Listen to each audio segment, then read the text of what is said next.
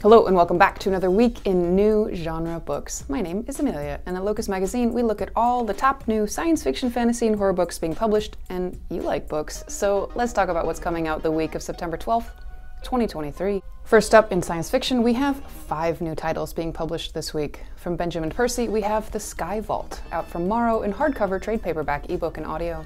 This is a post apocalyptic SF novel, the third and final book in the Comet Cycle series. The comet came from beyond our solar system, now in the isolated region of Fairbanks, Alaska. An interstellar dust cloud seeds the atmosphere. A plane vanishes in this atmospheric soup, but only for a minute.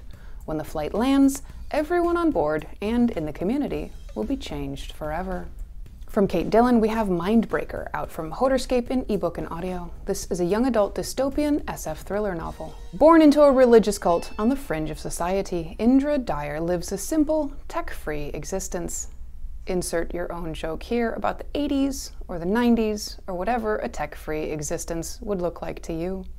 But when an illicit trip to the city leaves her with a terminal condition, Indra must make a choice die faithful or betray her order and accept the cure Glindell Technologies is offering. From debut novelist Em X. Liu, we have The Death I Gave Him, out from Solaris UK in hardcover ebook and audio. This is an SF novel, a queer retelling of Hamlet as a high tech thriller. Elsinore Labs AI Horatio discovers a researcher is dead, leaving a neuromapped model of his brain that says he was murdered. From Stephanie Oakes, we have The Meadows, out from Dial in hardcover, ebook, and audio. This is a dystopian, queer, young adult SF novel. Eleanor is thrilled to be accepted to the prestigious Meadows School, but even after graduation, the school enforces relentless conformity, and Eleanor's one of the enforcers. From Michael Solis, we have Deficient, out from BHC Press in hardcover, trade paperback, ebook, and audio. This is a young adult SF novel. The near future is free from discrimination based on race, class, and sexual orientation, but in a world populated by the gifted, 15 year old Alejandro Aragon is part of the only remaining minority. He's a deficient. Powerless, these are the people that accelerated genetics left behind. Next up, horror, we have five new books this week. From Kelley Armstrong, we have Hemlock Island out from St. Martin's in hardcover, ebook, and audio. This is a horror novel. Lainey Kilpatrick rents out her vacation home on Hemlock Island to stay afloat, but the renters start fleeing from recent events. Broken belongings and campfires that nearly burned down the house have escalated to bloody bones, hex circles, and now blood and nail marks all over the guest room closet as though someone tried to claw their way out. Lainey and her niece go to investigate, then their only means off the island goes missing. From Clay McLeod Chapman, we have What Kind of Mother out from Quirk Books in hardcover, ebook, and audio. This is a Southern Gothic horror novel about a palm reader caught up in a missing child case. After striking out on her own as a teen mom, Maddie Price is forced to return to her hometown of Brandywine, Virginia, with her 17 year old daughter. With nothing to her name, she scrapes together a living as a palm reader at the local farmer's market. There, she connects with her old high school flame, now a reclusive local fisherman whose infant son went missing five years ago. Everyone in town is sure the boy is dead, but when Maddie reads Henry's palm, she starts to think that's not true. From Sarah Hollowell, we have What Stalks Among Us out from Clarion in hardcover ebook and audio. This is a YA speculative thriller.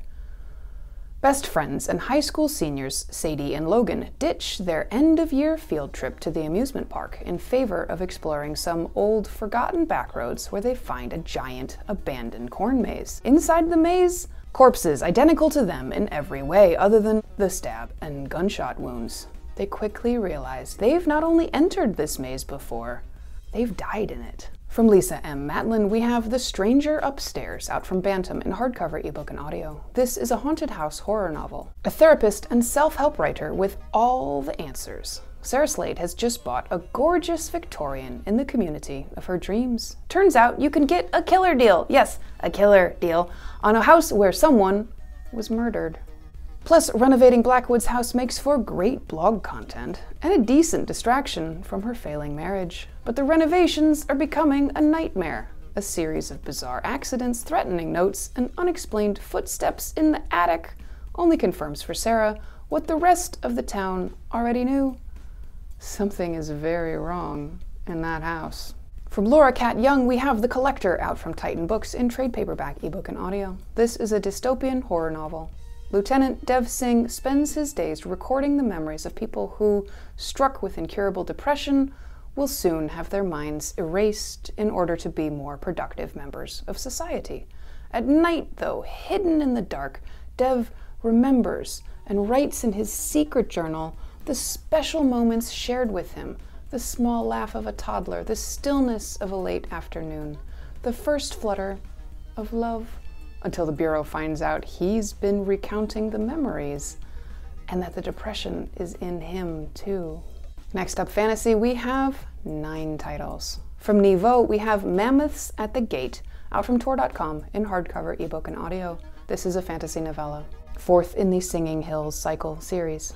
The wandering cleric Chih returns home to the Singing Hills Abbey. Their mentor, Cleric Tien, has died and rests among the archivists and storytellers of the storied abbey. Cleric Tien's granddaughters have arrived on the backs of royal mammoths, demanding their grandfather's body for burial. She must somehow balance honoring their mentor's chosen life while keeping the sisters from the north from storming the gates. From Jennifer L. Armentrout, we have Fall of Ruin and Wrath out from Bramble in hardcover, ebook, and audio. This is a fantasy romance novel, the first in a series for adults. Nine cities dot a vast wilderness teeming with monsters and unimaginable dangers, each city ruled by royalty who feed on mortal pleasure. Callista lives hidden as a courtesan of the Baron of Archwood. In exchange for protection, she uses her intuition to inform him until her intuition leads her to save a traveling prince that she knows will one day bring her doom. From Dan Frey, we have Dreambound, out from Del Rey in trade paperback, ebook, and audio. This is a contemporary fantasy novel. A reporter unearths mystical secrets of LA as he searches for his 12 year old daughter, who left a note saying she was going to the hidden world from her favorite books. And she's not the first child to go missing that way. From Katharine Briggs, we have Eternity Gate out from Enclave Escape in hardcover and ebook. This is a young adult fantasy novel, first in the Threshold duology. The Eternity Gate has been found, and kings and monsters battle, hoping to claim its legendary treasure. Seo, handmaiden to the princess, translated a prophecy warning that the gate offers judgment, not treasure. From KJ Del Antonia, we have Playing the Witch card out from Putnam in trade paperback, ebook, and audio. This is a fantasy novel. Flair Hardwick gave up magic and love to take over her grandmother's ordinary Kansas bakery. Then she bakes some Halloween cookies, which accidentally release magic that draws her mother and her first love to town while cursing her ex. From Snorri Kristjansson, we have The Hidden Legion out from Solaris UK in hardcover, ebook, and audio. This is a fantasy novel, the first in the trilogy, The Blood at Dawn.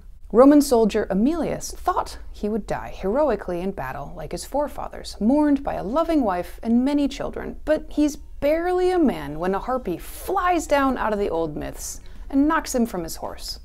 Stunned and helpless, he waits for his end and is saved. Formed on the bloody battlefield of Teutoburg, the Hidden Legion are an order of soldiers, magicians, and rogues so secret that the Empire itself would hunt them down if they were exposed. And now Emilius is one of them.